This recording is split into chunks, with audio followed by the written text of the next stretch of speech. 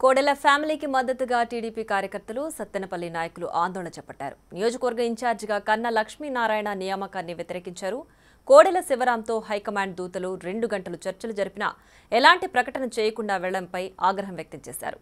TDP నేతల వాహనాన్ని అడ్డుకునే ప్రయత్నం చేశారు. వాళ్ళ కారుకు అడ్డంగా బైఠాయించారు. వాళ్ళ అభిప్రాయం ఏంటో మా ప్రతినిధి శివ అందిస్తారు.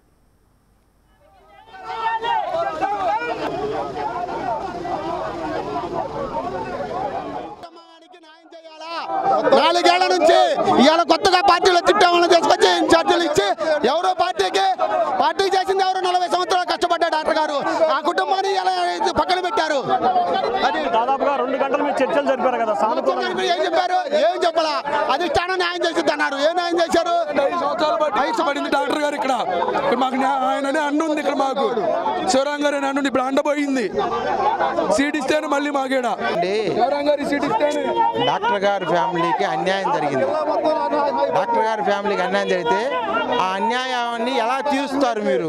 న్యాయం చేయాల్సిన బాధ్యత పార్టీపై ఉంది కాబట్టి పార్టీ అధ్యక్షుడు ఆంజనేయులు గారు కాబట్టి ఆయన్ని అడుగుతున్నారు. అది కార్యకర్తలకు మా బాధ్యత. చెప్పాల్సిన బాధ్యత ఆయనకు ఉంది అది చెప్పకుండా వెళ్ళిపోతున్నారని మా ఆందోళన అంతే అంతకుమించి ఏం లేదు.